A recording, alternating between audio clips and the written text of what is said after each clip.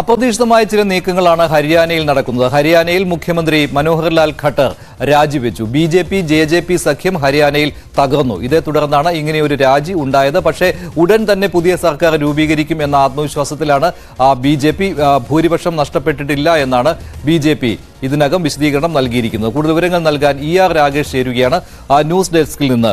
രാകേഷ് കഴിഞ്ഞ ദിവസം ചില പ്രശ്നങ്ങൾ ഉണ്ടായിരുന്നു. ഈ ലോക്സഭാ സീറ്റ് വിഭജന തർക്കമുണ്ടായതാണ് ജെ ജെ പിയുമായിട്ട്. ബി ജെ പിക്ക് പക്ഷേ ഖട്ടർ രാജിവെക്കുന്നതോടെ പുതിയ ഒരാളെ മുഖ്യമന്ത്രിയാക്കി സർക്കാർ രൂപീകരിക്കുന്നതിന് എന്തെങ്കിലും പ്രശ്നമുണ്ടോ? ഹരിയാനയിൽ നിലവിലെ അംഗബലം വെച്ച് നോക്കുമ്പോൾ.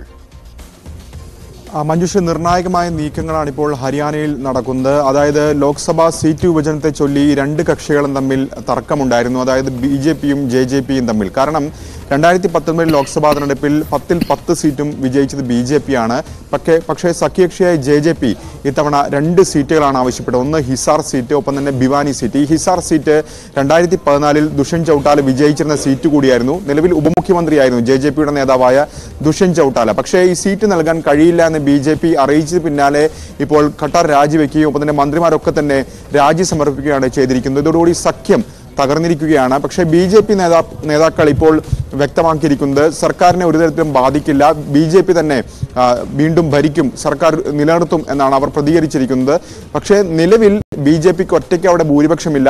തൊണ്ണൂറംഗ നിയമസഭയിൽ നാൽപ്പത്തി ഒന്ന് അംഗങ്ങളാണ് ബി ജെ പിക്കുള്ളത്. അഞ്ച് സ്വതന്ത്രരും ഒപ്പം തന്നെ പത്ത് ജെ ജെ പി അംഗങ്ങൾ. ഇവരുടെ പിന്തുണയോടുകൂടിയാണ് അവിടെ ഖട്ടർ ഭരിച്ചിരുന്നത്. പക്ഷേ നിലവിൽ ബി ജെ പി അഞ്ച് J J P M L എമാരുമായി ചർച്ച നടത്തുന്നു. അവരെ ബി ജെ പി പാളയത്തിൽ എത്തിക്കാനുള്ള നീക്കങ്ങളാണ് സജീവമായി നടക്കുന്നത്. ഏതായാലും ബി ജെ പി നേതാക്കളായ കേന്ദ്ര നിരീക്ഷകരായ അർജുൻ മുണ്ട അടക്കമുള്ള നേതാക്കൾ തരുൺ ചുഗ് അടക്കമുള്ള നേതാക്കൾ ഹരിയാനയിൽ എത്തിയിട്ടുണ്ട്. വൈകിട്ട് പുതിയ മുഖ്യമന്ത്രിയെ തെരഞ്ഞെടുക്കും സത്യപ്രതിജ്ഞ ഉണ്ടാകുമെന്നാണ് ഇപ്പോൾ ബി ജെ പി കേന്ദ്രങ്ങൾ അറിയിച്ചിരിക്കുന്നത്.